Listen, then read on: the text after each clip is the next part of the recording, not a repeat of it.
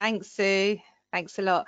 Uh, thank you everybody for attending. Um, we've, as we said, we've had some technical difficulties today. Uh, Hugh is with us. Um, unfortunately, his camera's not working, so you can't see him today.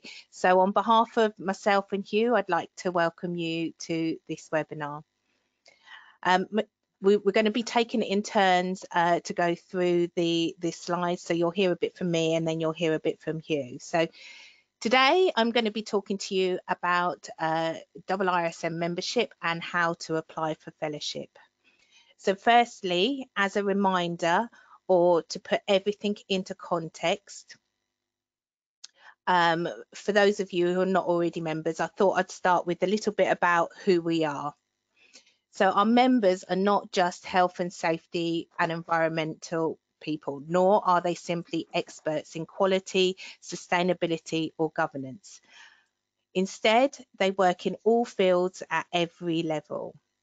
So we support people from those just starting out in their careers to those already leading the way. So we believe that having an inclusive and diverse community provides much richer learning and networking opportunities.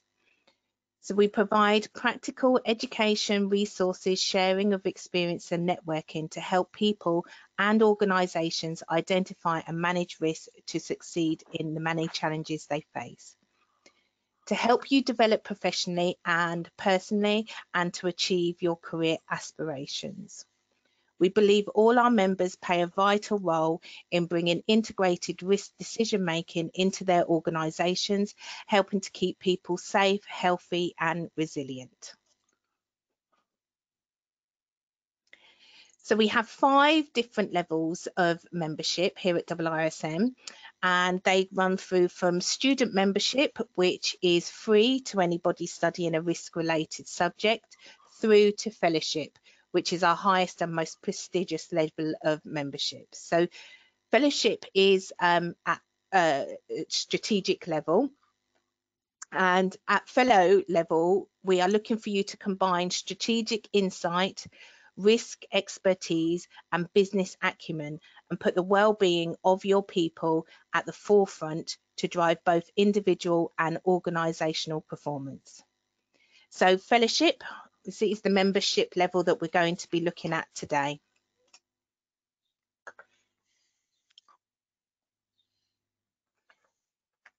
So we have broadened, so IIRSM have broadened our routes to membership as we recognise that we don't all have access to the same learning opportunities or take the same career pathways. So depending on our geographical location and the type of size, uh, type and size of, of the organisation that we work for, we all have access to, to different things. However, we believe everyone should have the opportunity to join and benefit from being part of the professional community and progress through our membership structures as their risk and leadership skills evolve. Qualifications are important and they demonstrate an individual's knowledge. However, they don't always reflect um, how they apply that knowledge to their ever um, evolving experiences. As well as keeping the qualification route um, as, as a way to join as, as a member, we have introduced a competency-based route, enabling people to join or upgrade based on their qualifications and or demonstrating their skills and experience. Um, we, we map those, the, those competencies against uh, the IIRSM competency framework. We will also recognise wider qualification subjects beyond health and safety in recognition of the many roles in, in risk-related subjects. So why apply for fellowship? So IIRSM reflects the expertise, competence and achievements of those responsible for managing risk at a senior level. It also recognises the, the major contributions they have made to their profession and how they have gone over and above their day job to support others. Fellowship is the pinnacle membership grade of IIRSM and validates your professional status and competence to employees, employers, customers, regulators, clients, and other stakeholders. As a fellow, you can access a network of peers and build contacts and to learn from, share experiences and challenges, take opportunities to raise your profile and showcase your expertise, influence best practice through meaningful volunteering opportunities within IIRSM, and use the FIIRSM designatory letters. As part of being a fellow, IIRSM asks you to commit to supporting and promoting IIRSM and its members. There are many ways to do this. Um, one of the examples is through mentoring. So as a fellow of IIRSM, um, we ask you to commit to supporting and promoting um, members. There are many ways to do this. As I said, um, mentoring is one of them. Uh, so here we have an example of our mentoring relationships crossing global boundaries. So for example, our mentee here, uh, Kareem, is based in Egypt and his mentor is based in the UK. So they, they both learned a huge amount from each other, um, especially as they were from different industries, countries, and at different stages within their career. So over to you, Hugh. Thanks, Donna. Thanks, Sue, for organising this. I am that technical hitch. I do mm-hmm. apologise. So first and foremost, I've been associated with IIRSM since the 1990s. I'm very proudly to do so. So I've come along this journey which Don, Don has quite nicely shared, which we simplified to try and encourage risk, occupational health, safety, insurance, fire professionals, anywhere from any walk of life to come and join us. And as you can see, in terms of the eligibility that we offer you now, there are three actual routes to becoming a member.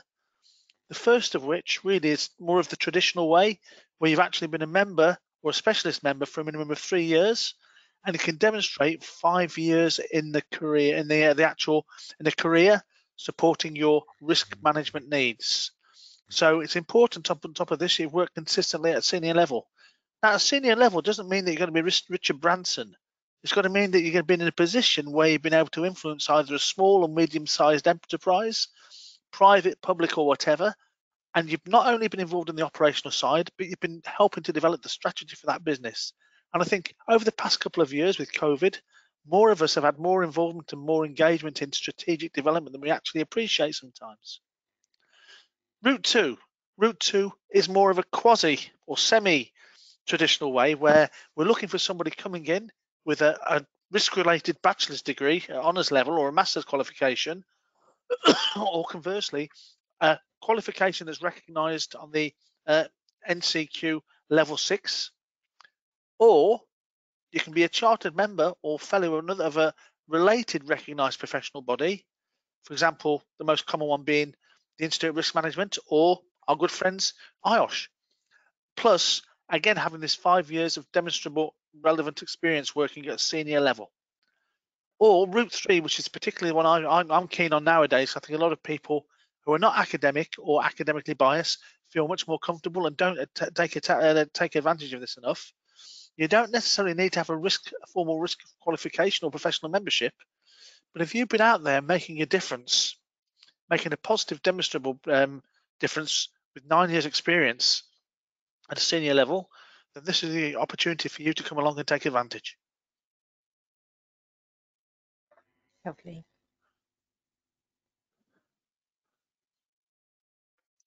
So This one for me, Donna, my friend, yeah? Yeah. Okay. So it's important. We, we don't just, I'll be quite honest with you, I'm, I am so proud to be a fellow of IIRSM and being chair of the fellowship panel. It's important that we're consistent for our members at all level, at other levels. So we don't just give this fellowship away willy-nilly. We expect people to meet some and certain key areas of competence and also to follow some rules going forward. So it's important that you meet the five technical competencies and meet six leadership competencies. Excuse me. Now, these aren't as difficult as people first think when they see the, the actual application form, but equally important there, where people get merit towards their fellowship, is that you maintain up to date continuing professional development, which, if you're doing it already for another professional body, for example, IOSH, IRM, uh, you may be doing it because for fire risk assessment or other qualifications or, and statuses you hold, you can use that rather than reinventing the wheel. But we also ask you to supply some additional information as well, which is, I like this, this is a really sexy slide, isn't it? the application form. And one of the benefits of IIRSM is you don't have to hit face to face. We respect you, we respect the references that are given you so you don't have to go through the, the heavy grilling that some uh, fellowship panels do to get to, to achieve the fellowship level. Obviously, a copy of an up-to-date CV, which gives us a better understanding of you and your work environment and some of the achievements and the road to where you are now in terms of your fellowship application. And references. Of your references, ideally we'd like one to be one a member or a fellow IIRSM or somebody who can give that experience um, if they can. Ideally, as well, we want one of them to be an employer so they can validate what's going on. But equally important is that you share with us PDF or file copies or photos of your certificates in order that we can validate and make sure that the consistency there. As I said, it's the important thing is that we're consistent to all of our members and that we're consistent in the fellowship process and approval process. Lovely, thank you. Okay, so we provide you with um, lots of support to try and help you get through the um, application process. So as well as the application form, there are several documents um, to help support you with, with the process. So the first one is the, the fellowship assessment guidelines. So this will help you to judge whether you're eligible to apply and assist with completing the application form. And it also details the scores for each section of the application form, which Hugh will talk about in, in more detail later. Um, you've also got, um, we've, we've produced a reference request letter. Uh, so you can send this letter out to your referees to request the references um, and this can be accompanied by the reference application form that we've, we've produced for you as well. So lastly, you've got the IIRSM risk management and leadership competency framework document. So this is where we are looking for you to map uh, your your experiences, give give examples of what you've you've done at a strategic level. So when you look through this document, you're looking at the last column, which is the um, strategic level competencies. So we launched this uh, competency framework about two years ago.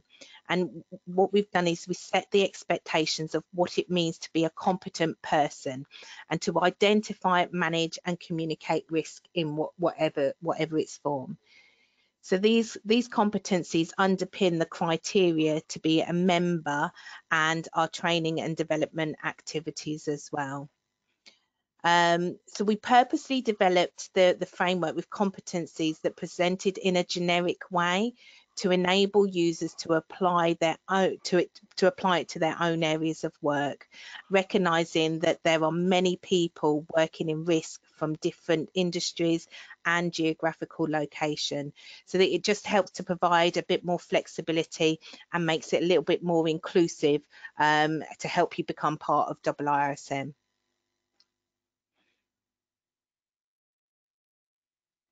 So next we're on to how to complete the application form. So you can submit an application form at any time. Uh, the, the fellowship application process will usually take about six to eight weeks, uh, but it may take slightly longer at busy times of the year, but we'll let you know when you when you send your application in. So the application form itself is made up of several mandatory sections so before completing your application, make sure you review the risk management and leadership competency framework and understand that the strategic fellowship level competencies that we need you to meet. And just just so that you are you are aware that each section of the application form is scored so sections one to four that you can see on screen now ask for your personal details including your membership number if you already have one um, all applications must be typed um, and use the application form provided. We don't set, we don't accept kind of anything, uh, any applications that are not on this form. And all sections and relevant supporting documentation are mandatory except for section 11, but we'll cover that in, in more detail later. Um, as I said, if you're a current member, you need to include your membership number um, and you must ensure that you've completed two references on the, the form supplied. So next, the next section, section five, asks you to select which route you're applying for. So as Hugh explained, we have um, three different routes. So you will just select which route you are applying through.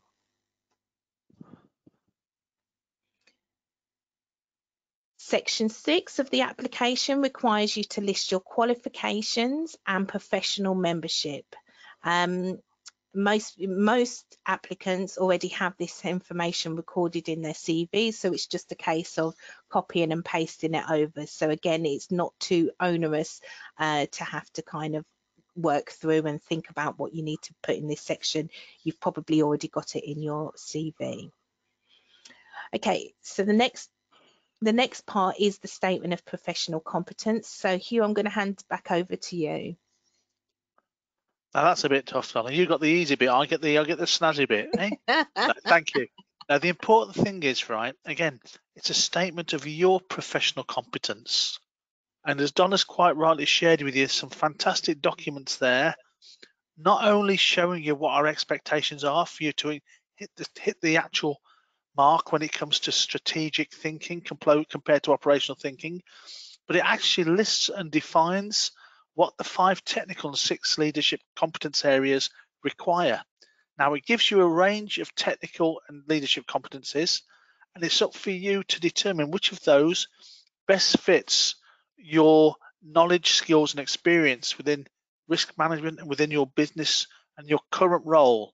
Now, you can play this back for a few years as well, but one of the biggest shortfalls I see when we do the actual applications, people don't sell themselves enough in, in, in this actual section. They don't give us enough detail. And as Donna quite rightly said, section six, you receive up to four points for your qualifications. And we do the actual assessment on a points basis. Now here, the greatest weighting, which we'll talk about later, is actually within the five technical and six leadership competencies for which one we, we award up to two points. And we try to get you to score a minimum of about 18 points, I believe it is off the top of my head. So it's important you sell yourself here. And we ask people to try and apply the STAR principle in terms of discussing a situation in which they faced a specific problem and where they've had to actually go into there and basically look at what the task entailed, look at how to apply themselves to it, to get the end result and to try and share something of the storyline there. So I, am hoping everybody's familiar with the, the star principle. Yeah, we're covering. We've got a we've got a slide in a, in a, in a I'll leave that then. Yeah. Okay. So so really get as much detail in here as you can on each of these examples. I said sometimes people just say refer to refer to CV. We can't give you points for that. We want to learn about you. We want to make sure that we've got rounded professionals there and make sure that you, you hit the boxes for us and for our members as a fellow, because ultimately you're going to be influencing others. So try and get as much detail in there as you can. If if not, when you've got people doing your references or if you've got a mentor, talk through with them what you think you're going to put in there. It's really important part of the process. And as I said, really, if you look at this section, more than 50% of the marks that you need, not 50% of the top marks, but if you get a good score on this on this here, if you get full marks on this section here, You've got more than 50% of the marks you need to get yourself above water for a fellowship. Yeah. Yeah, so um, Okay. so just So do you want me to elaborate? Or do you, do you want this yeah, one, Donna? I'll let you elaborate on this one. It's just showing, yeah, the actual. Certainly.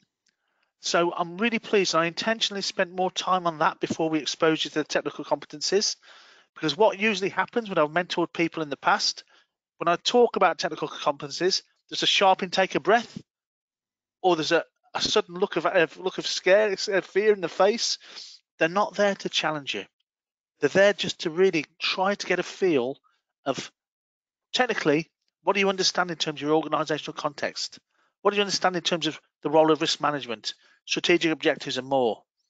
And as you see across the box, we go from what our minimum expectations would be for you to satisfy an associate membership level, the membership level, and the fellowship level. So ultimately, we're hoping that you've progressed in your career, stepping from the first, the second box into what we're looking for in terms of fellowship. Now, this has been particularly close to my heart over the past couple of weeks because my son actually achieved his NEBOSH certificate last year. And thanks to my very good friend and a key member of the IIRSM team, Raymond, Raymond Suku, he's actually just been uh, accepted at associate level. So before he actually said, you know, well, Dad, you know, do you think I'm ready to, to apply for this? I actually sat down with him and said, well, look, let's have a look at what the, the associate competencies uh, cover. And do you feel in your current role they're covering this? Now, fortunately, he's joined a fantastic company. He's a small business. It's his first role in safety. And going through together, he feels he ticks the box already. But I've got him into that mindset now, thinking about progression. I think that's important. And in particular, as leaders, never more important has it been the behaviors that we excel and whether so that we we actually show and we excel in and try to improve in. And I'm trying to improve every day because none of us are perfect. We've all got things to work upon. So this gives us, when it comes to influencing, for example, or emotional intelligence, it gives us some yardsticks or some milestones where we feel we should have moved and progressed from towards what we're looking for as a fellow. Brilliant. So, I know words, actions speak louder than words. So when it comes to section seven, actually competing uh, the the actual state, the actual uh, statement of professional competence, we want you to give it your best shot. We don't know you anywhere near as well as you know yourself and your experiences. So please humour us, and please, as simple as you can, or as, as structurally and detailed as you can, apply the STAR principle, here. As I said, the situation, the task. Some people say approach. I don't. I like to think more of achievements because I like to thought, put the, you know, like anything, put the positive spin on it before you hit them with the punchline with the results. So try and build that up in a storyline if you can, because you know what you've achieved and be proud of it. And whether it's in terms of the organisational context and your role in risk management, it may be the fact that the business had nothing five years ago about in terms of risk management understanding. Maybe that you've come along and highlighted what the significant risks of the business, financial, non-financial, operational, you know, and you've actually influenced that. So don't be scared to tell your story. Whether you're head of, whether you're department leader or whatever in a bigger business, how you've worked to influence, to work with others, to make and shape the business needs in terms of the role of risk management or in terms of whatever the actual area of behavior is. Try and basically look at what you've done and what you've achieved, map that against what our expectations are at a strategic level for fellowship, and try and write your storyline that way. And whilst it sounds difficult, when you do it for the first, for the second, particularly the technical competence, I think people find tough to get their head around sometimes, it starts to flow then. That's why I like it, the fact that we put the, the, the tough bit first, the technical competencies. And what you'll find is when you start writing about the behaviors as opposed to the competencies, it's flowing already. And so in many cases, there's something of a storyline because what you're actually sharing is an experience with us about your actual um, technical competencies. The examples can actually be actually pitched further and developed upon with what you give us in terms of your behaviors. So you find it's a virtuous circle and the two, one feeds into the other. So don't be put off. See the opportunity. And again, not not dismissing other other organisations, but if you're applying for something like the Chartered Management Institute, we're applying for Fellowship of IOSH and people later, I can assure you this is a much user-friendlier route, but it also allows you to establish a, a bit of self-esteem about yes, am I ready for it or not? And as I said, a lot of people, particularly over the past couple of years, have had to step step up their game when it comes to risk management to support their businesses and the workplaces. So this for me is a great time for you to have a look at a bit of self-reflection and try and put together a good strong fellowship petition. Brilliant. Yeah. And as you can see on the on the screen as well, we do provide a couple of examples. Um, and we, you know, we understand. I think your your um, um, testament to this, uh, Hugh, that you actually find that when you're writing about one area, you actually cover in a couple um, because the examples that you give actually feed into other uh, strategic competencies as well. Donna's totally right there as well. And don't be scared to do that because at the end of the day, you know, none of us walk around like robots, and we've got a great team of assessors. The fellowship panel are absolutely brilliant. Great, great team. We're looking to expand them more, make them more diverse, make them more inclusive. Uh, thanks to Raymond again, and they understand. They've came through this so this path, and they understand that there'll be overlap. So please don't be scared if there is overlap. Lovely, thank Good you. Good point, Donna. Thank you. Thanks. Okay, so this next section, section eight of the application, this can be used to um, demonstrate how you've uh, contributed to your profession and gone above and beyond to help colleagues or organisations outside of your paid employment. So um, some of the examples that you you could give is that you've mentored, um, you've done some unofficial mentoring for a friend or a colleague, um, maybe you've, as part of what what you do, um, you've provided some free consultancy, or um, you know you might be volunteer uh, for a committee or um, one of the groups. I know so Kareem, who we saw um, as part of the mentoring earlier in the presentation, he's actually the branch chair for the Egypt branch. So that's how he gives his contribu contribution back.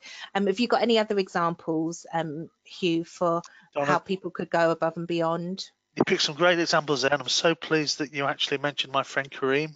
I had the pleasure of representing IIRSM in Egypt at an oil and gas conference. Kareem and the team there, great bunch of people. They put the stand up. Uh, and what you'll find once you know, I mean, if you're not doing it already, please network as much as you can in IIRSM. We've got so many great people around the world to meet. There's things, I mean, a lot of people take things for granted. If you're a school governor, if you're doing things with um, local football teams, I mean, I, I, help out occasionally doing risk assessments for the local football team, help the help the guys and girls there. It's well structured now, so don't call on my services much at all. But anything you're doing over and above, um, for example, through COVID, I was called upon by a number of small businesses around here, trying to help them out, putting their policy together to make sure they didn't get in trouble and had the right controls in place. Any little thing like this that you've done over the past few years that you can share, you know, that something should be well, past five years, sorry, that you're proud of. There's probably a lot more out there than you think. If you do any voluntary work, if you do any fundraising, um, for example, Grant Thompson, great guy, he does a lot of work in terms of um, the Heart Foundation, raising money, raising funds, supporting local charities you know, don't be scared to put that thing down there. It's something that you're proud of, you put your time into, and it helps to reduce the risk profile for somebody else. Then put it down there. The least you can get is marks for it. So please, and it goes towards your fellowship. And sometimes it makes you feel good, and then it actually opens your school of thoughts. So hang on, I did that as well two years ago. So, uh, so don't be scared to put it down there. Brilliant. Sorry, again, if you put any articles together, company magazines, if you've done any events at work, for example, uh, last week was the, the Mental Health at Work Week. If you ran any initiatives at work with your colleagues, um, anything like this, please feel free to share that as examples. Thanks, Hugh.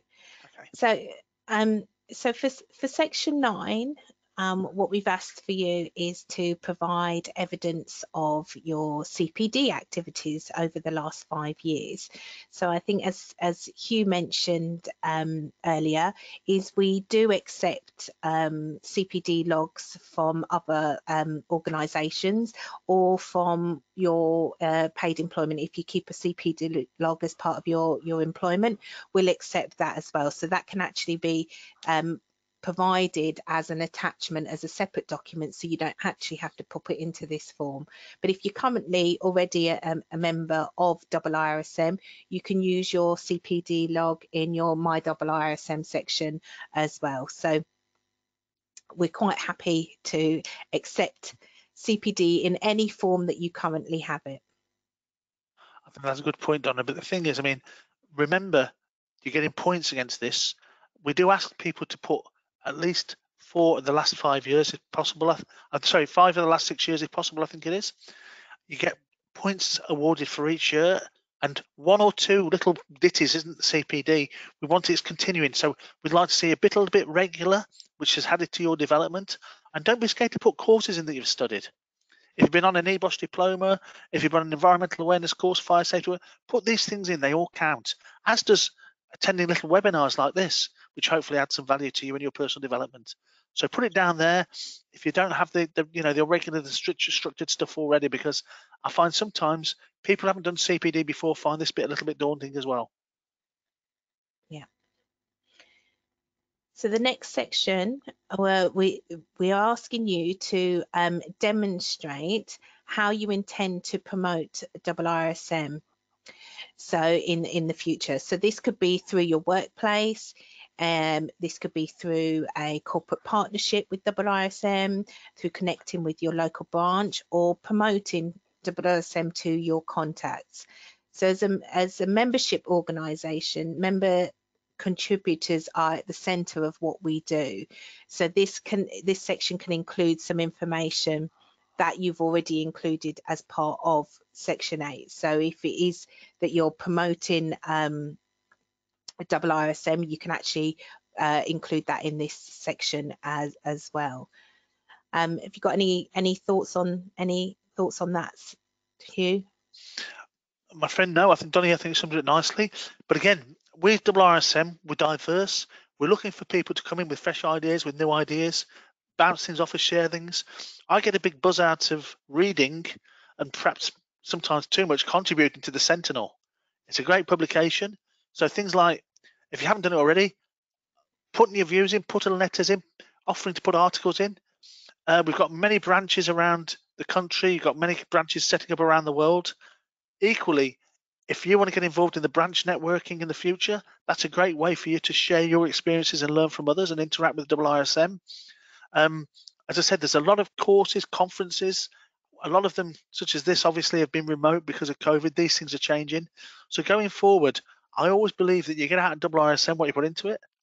And in this case, if you're prepared to put into these things, write down exactly what you can bring to the party for us. We'll give you credit for it and we'd like to get you engaged because we are evolving, we are emerging, and we are our institute, which I think people understand. It's it's ours, and it's for us to shape and us to help help form it with the team. Donna and the great team at IIRSM will work with us. They'll basically give us what we need to prepare us better for the future. And by saying what you want to contribute and support, this allows you to do that. Yeah, yeah. So uh, yeah, you're absolutely right, Hugh. And so we, have moved on now. We're moving on now to section 11, which is the personal statement. And I know that Hugh, you'll have more um, insight into this section than what I do. But your personal statement, it does say it's optional, but I need to make you aware that it does carry points. It does have five points associated with it. Um, so this section can be used to provide any additional information and evidence that you believe will support your application and help the fellowship assessment panel in their decision making process. The evidence that you provide in, in this section should be um, within the last five years. And what sort of things would you expect to see in this section here? Well, I'd like to see what I like to see about this. At the end of the day, I like to see this as I wouldn't say closure, but I'd like to see. You know, we get to the last. You know, we get to the, the peak in the book. You know, the last bit, the climax of the book. I like to see this really as put the icing on the cake, shall we say, where you put it all together and you can sit there and you can feel proud to yourself of what you've achieved in your career to date and what you've put together. So this gives you the opportunity to, to again to self-reflect and to sell yourself in terms of what have you done that makes you feel well basically from the Heather Small song what have you do, done today that makes you feel proud? You know put it down there. We'll give you the marks and the credit and allows us to get a better understanding of you and an individual and your contribution to risk in your environment. So don't be scared to write about yourself about what you've done. There may be elements of things that are confidential. We don't expect you to go into great detail or, or give any sort of government information away that's classified. But don't be scared to put down what you feel makes you stand out uh, or makes you a standout for the way you've performed in terms of risk management. Brilliant. Okay, so we're on to the, we're nearly at the end of the application form. So we're at the reference um, section now. So we um, we ask you to provide two references. Um, the forms, as I said before, are provided, and your references should provide evidence of good character and professionalism, um, an awareness of your personal and professional achievements, uh, strategic professional knowledge, experience and influence and demonstrate uh, as demonstrated as part of your application and uh, recommendation for fellowship. So one reference must be from your current employer uh, or your manager or a client uh, and based uh, on the last three, if you working with them in the last three years. Um, the other could ideally be from a current double IRSM fellow or someone who is equally qualified and experienced. Um, so each reference must be dated within the last uh, 12, 12 months. Okay, and then just moving on to the last section, which is just to sign and date your form. So um, it's it's it's you're signing to the to state that you um, uh, signing to comply with the declaration and uh, to say that the information that you've provided is truthful and correct. Um, so you need to ensure that it is signed and dated before you send it off to us. So once we receive your application, so we'll send it to the assessment panel and that will be obviously Hugh's, team. Um, you'll need to get a maximum score of 40, but I'll let Hugh talk more about um, the scoring process and how it works. Thanks, Donna. So that's why we've shared it with you. We try to be as fair, impartial and consistent as we can, not just to the people who are applying, but obviously to our members because you know, we, have got to be consistent and we do like to see the progression within the actual uh, institute as well, because it's really important that people feel they're achieving things in, in, in life and achieving milestones, and the level of membership reflects that. So as you said, very nicely put together. It's it's a great it's great to follow with. The more practice, then we actually can. We're trying to assign as many marks as we can for you. So if you don't get it down in paper, then we can't give it you. So as Donna's quite rightly said, the magic number is 40.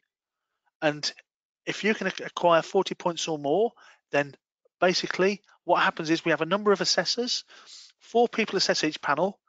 And if you get the thumbs up from all four, then basically you're approved for fellowship and you get a lovely letter from a wonderful gentleman, Raymond Suku, our membership services officer, and he will introduce you to your fellowship and, and sort everything out there for you. Now, usually if it's 3-1, in terms of the, the marks marks appointed by each person because each person comes from different backgrounds and each person reads and tries to assess it in their own right. And if it's 3-1 in favour, then yes, you still pass. If it's in doubt or, or, or split decision, then that's usually where I get involved. Or if it's 3-1 in the or 4-4-0 in the favour that you won't be approved, that's when it gets escalated to me and that's when I have to really pull what little bit of hair I've got out left, trying to assign as many marks as possible to see if we can get you above the, the 40 marks. But the important thing is you try and get yourself as many marks as possible. As you can see from the criteria here, education, there's up to four marks. We put two points per completed qualification. If you can put yourself two pieces of qualifications down there, you've got 10% of that 40 marks, the magic 40 you need already. I'm going to ignore section seven for now because that's the big banker right? Look at section eight. We've gone above and beyond. We are giving you two points for every every time you can tell us how you contributed above and beyond, right? In your profession, with your colleagues, organisations. So as I said to you, four good examples there of where you've contributed above and beyond. You've got eight marks there. So that's that's another that's another 20% of the marks you need to get that magic. Well, it's 12 points at the magic 40. Continuing CPD, two points for each year in CPD, I like to see at least five, six, seven examples and of regular progression. But again, if you've been doing something like a master's degree or an NVQ, that obviously tells, takes a lot of time and a commitment. So we can give you two points for each year there. five of the last six years. So it's there for you to get those points. There's 10 points potentially there as well. That's 25% of the, the marks that you need. Um, when it comes to section 10, there's up to, you know, there's two points per example of how you contributed already. One point examples how you want to promote support IIRSM in future.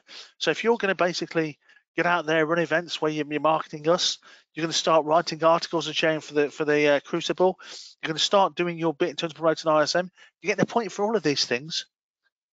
Personal a statement, writing and blowing your own trumpet. As Donna quite rightly said, there's five marks there for just you telling us your story and how you progressed in risk and what makes you feel you're a standout, what makes you proud of what you've achieved. And then back to the references, section 12, 10 points there, 25% of the marks again.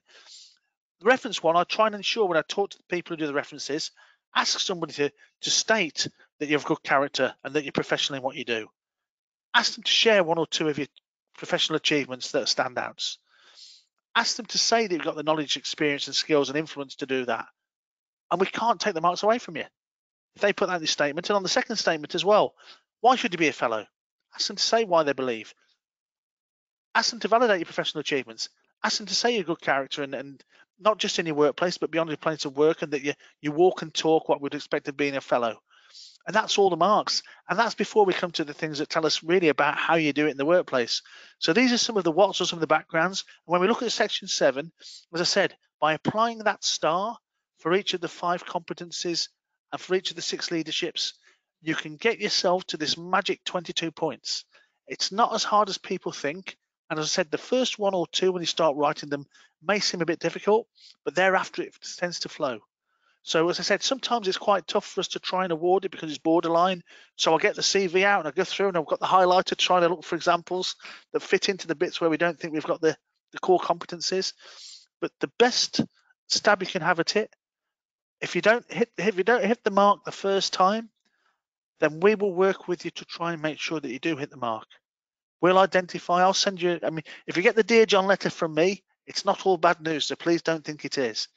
It's usually a case that I'll identify where we feel we need some bit more information from you, that we can validate your claim and do you justice as well as doing our own assessment process justice. So we'll make them back to you and say that you've not given me enough on statements and professional competence or your reference doesn't say enough about this, but we'll be specific with you in terms of what our expectations are, allowing you to actually submit that information afterwards. Yeah, brilliant. So just just a little bit about um, the fee. So we've covered the application form and the application um, part of the application process. So the next section is the fee. So we ask for a £95 application fee prior to sending your application to the assessment panel. So we can take that payment over the phone um, or you can do a bank transfer for that payment.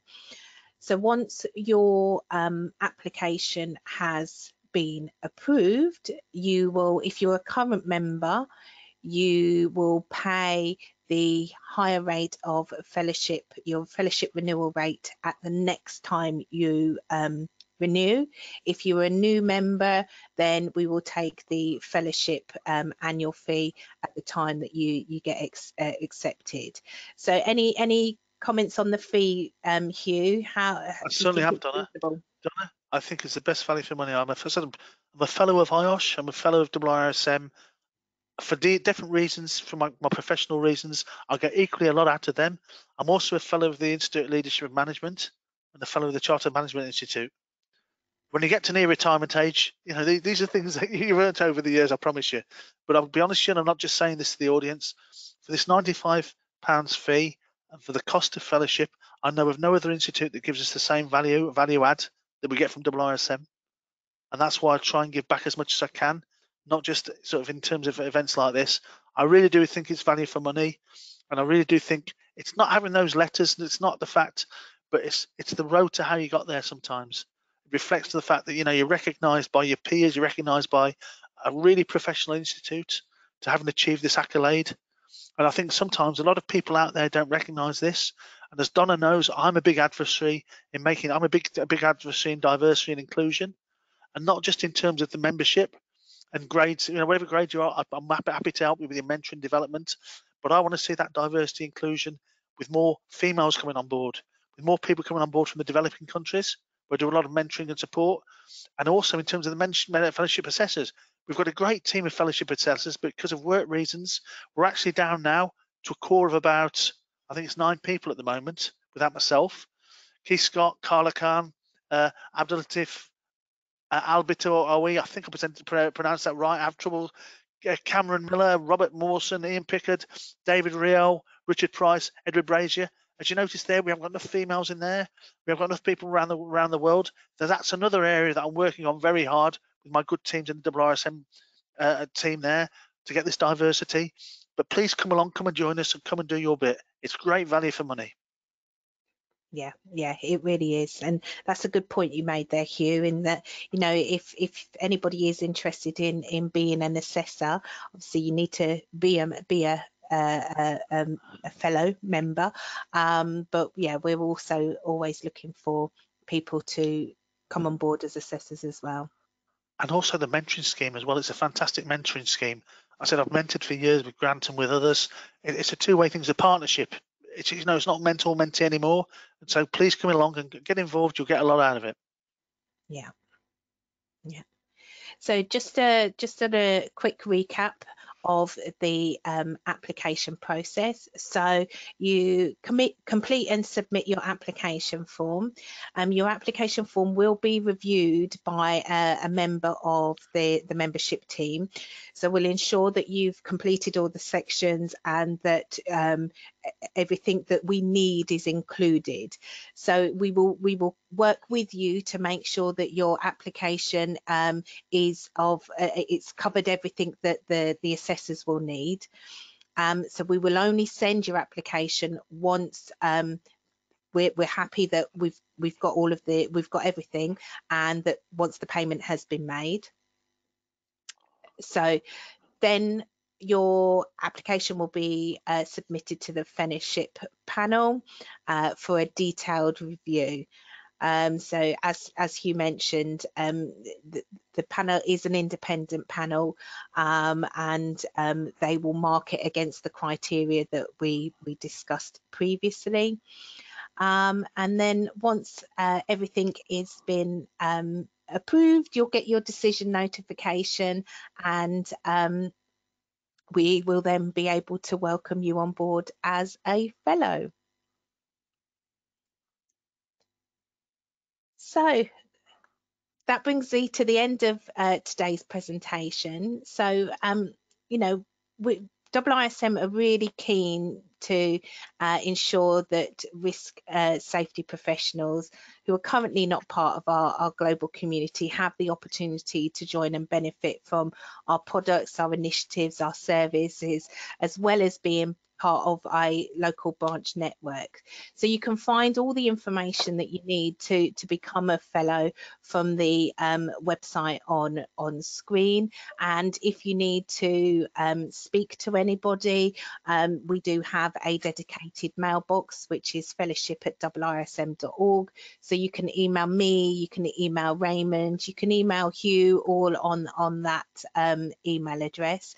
Um, and uh, yeah, hopefully I hope to welcome some of you on board as fellows very soon. You got any any any comments, um, Hugh? No, just a big thank you to IIRSM, but primarily to your good self, Donna, and to Sue for all the hard work putting this together. As I said to you, I've been I said I've been associated since the 1990s, IIRSM, became a fellow in 2007, and I think the work now that IIRSM are doing, in particular promoting not just fellowship, but with things like mentoring, the Sentinel. We've always been a great organisation. Sorry, we've always been a strong, good organisation, but I think we've gone from great towards world class thanks to people like your good selves.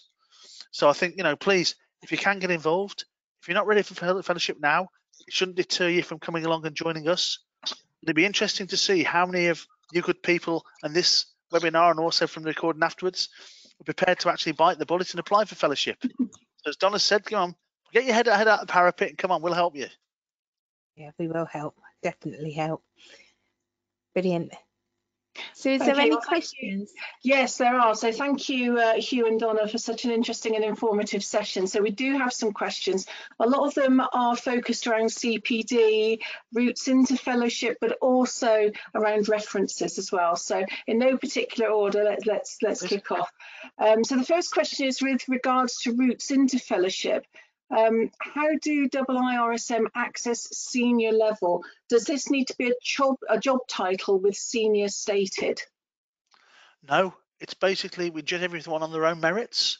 As I said, you might be, yeah, we're not expecting everybody to be Richard Branson. You might be the, the leading person in a company of five or six people, or even smaller. The fact is, you're actually influencing the strategic direction of that business when it comes to risk management. We'll judge each one on its own merits. Yeah, yeah. Okay, thank you. Well, sorry, it could very well be Um, a department even. You know, we're not looking for, we're not expecting everybody to be up there with the, no, the FTSE 100 companies uh, as yet. yeah Yeah, one of the things that i generally say is we're just look we- we're looking for people to who are making decisions at strategic level um, so it might be somebody who owns their own business you know uh, you know you if you if you're self-employed you make all of the decisions at strategic level so you know you'd be a perfect candidate to to apply Very good point, Donna. Okay, thank you. Um, so how can the references cover the last three years if you've changed job within that time? This person has just started a new job in the last six weeks, so a reference from that employer won't be able to show that. So do they then use a previous employer as a referee? That's a good one. We've not come up against that one. I think if you've got the works history there and we know that it's recent, we'd take that into consideration. I don't think we'd see that as a problem on, on that very basis. I'd have to No, phone a friend. I'd have to phone Raymond on that one, but I think I'd probably give me the same answer. yeah it'll be fine it will be it would be fine so yes definitely use your your current employer as as as as an employee uh, employer reference um but uh, you know as hugh says we take each case as uh, on its individual merit so um that wouldn't be a problem at all And uh, another question to do with references is how um, how can a more mature person obtain references? You mean an old bugger like me? Excuse my French. Yeah? I wasn't Yeah. well, there's different ways. The thing is, I mean, to be honest with you, it's again it depends on it depends on the merit as well. If it's somebody you know, for example, if it's somebody you're working with, you can use that. If you've got somebody in your network who's a member of the IIRSM or another international organisation at a, a senior level who knows you and can validate what you said, somebody who can basically somebody we know is, is can confirm your credentials uh, and we know is of a reasonable standing to be able to do that. We're trying to be consistent. We're not trying to catch you out. We just want to make sure we're consistent for our members and for you as well. yeah it could be a client even even Yeah, if client, you're working with someone Not a um, good they, they they could provide you with a reference as well Just hope they don't And try is- and cut your prices though. That's it. And is there a time limit on that sort of working with that that person? So if it's a client that you've worked with, say six years ago, or does it have to be more recent? i think i think it says up to three years Up to Um, three I- years, I believe. Yeah. i I think believe something it's that's more recent for integrity. I think you know, so you know something that's is valid and is quite current. I think that's probably the best bit. That's what we're looking for, really. But again, Yeah. I'd phone a friend like Donna or Raymond to, to sort that one out. So we do try and be fair in each case. Yeah. So the, the answer then is is finding and choosing those referen those those uh, referees very carefully that they can actually validate what you are saying. absolutely so Brilliant. Okay. Um, so I think I'm going to answer. I I know what the answer is to this question. Is uh, can a uh, CMIOSH individual with numerous years of experience be a referee? Yes We wouldn't hold that against him. Of course we would. yeah. I used to be a referee when I was well, when I was CMIS, to be honest with you. yeah Okay. that's absolutely fine Okay. Um, and this is a question about CPD. Um, they don't have any CPD, particularly with IIRSM, but they have CPD from other organisations. Um, and how could they meet the CPD requirement in time to apply for a fellowship this year? Just share your history going back the past uh, up to the past six years. And I said two points per year CPD. Share it. We don't discriminate, as Donna quite rightly said. We can use whatever in, that international institute or whoever you've got working for your business, your company, anything. We, we'll we'll accept that as long as it's consistent, as long as it hits all the criteria in terms of being CPD. Yeah, and again, it's it's it's any form. So you know, if it's if it's not in a downloadable form, take screenshots, drop it into Word. We'll, we'll you know, as long as we can see that evidence that you've been recording CPD, that that will be fine, and we'll accept it. And how about the sort of more informal ad hoc CPD that somebody might actually uh, engage with? How how might they go about recording that and evidencing that? I think use the form in the application. Um, I think that's probably the best way to demonstrate um, kind of informal CPD. Yes. Use the, the, the section in the application form and just make a note of when those activities took place um, and yeah, what they got out of them. Okay, thank you. And um, final question for the moment is: uh, Would you really advise having a mentor who has who is already a fellow to actually help you go through this process? I'll let Absolutely. you answer that, Hugh. Absolutely, I think it'll make it much much less painful painful for the person involved. Definitely. Yeah, yeah, and the the the actual um the actual process isn't as onerous as it seems, no. and you know if you need to contact me i'll help you through the process. I help loads of people through the process. So i'm I, you know it isn't it, it really isn't as difficult as it seems. But yeah another fellow will be i'm sure another fellow will be more than happy to help you um or you know the team here at IIRSM will help you through the process. You'll find very people people are very supportive in IIRSM, and as you said, if Donna doesn't know, we don't know, we'll phone a friend within the network and we'll try and sort, sort it with you. Yeah, Please okay. excuse me, guys. I'm going to have to venture up. I'm afraid I'm running a little late today. Take care. Please, Thank any you. questions that you need to feel back to me, please do, and I'm, I'm there to help and support anybody on the panel here. Lovely. Thank That's you. Thank Thanks, you, Hugh. I'm just checking to see if we've got any more questions. I don't think we have, so I think we will leave it there for today. Uh, so thank you again, Donna and Hugh, for sharing your knowledge with us about the application process, giving us lots of really good hints and tips about how we can best apply for, for fellowship. Um, thank you to everybody who's joined us this afternoon.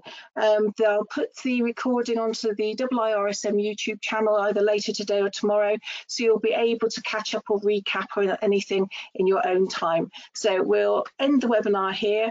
Um, have a great rest of the day, and I look forward to seeing you again at the next IIRSM webinar. Bye-bye. Thanks, Sue.